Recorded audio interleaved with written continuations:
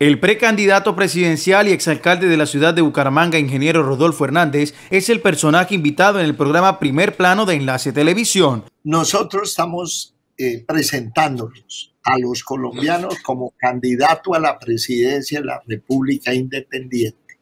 Independiente de todo, de la financiación de, los más ricos de Colombia que ven plata, no le recibo por eso es que hice una convocatoria, 3 millones de colombianos, para que durante seis meses me regalen 10 mil pesos para fondear la campaña, que yo sé que me los van a dar, porque las llamadas que recibimos para consignar ya son muchas pero no puedo hacer nada porque no son tiempos de recaudo de dinero para esa financiación. Hernández expone el por qué quiere ser el próximo presidente de la República de Colombia. ¿Qué dicen que yo soy petrista? No, yo no soy ni petrista, ni uribista, ni fajardista, ni galanista, nada. Yo soy un colombiano que está diciendo colombiano, yo me prometo a no robar, no mentir, no traicionar y cero impunidad.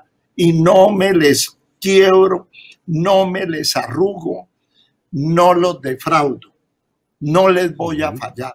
Adelantó el político santanderiano que el dirigente sindical de la USO, Ludwig Gómez, será el segundo renglón de su lista a la Cámara en las elecciones del 2022.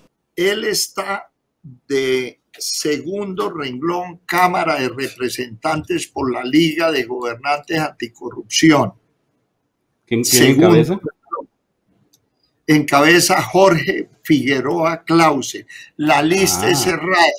Total de que ah. póngale la firma que Barranca va a tener un representante de la liga como su representante a la Cámara para defender los intereses de los santanderianos y lógicamente ahí está metida de primera mano Barranca Bermeja. El programa Primer Plano se emite los días sábados y domingos a las 8 de la noche solo por Enlace Televisión.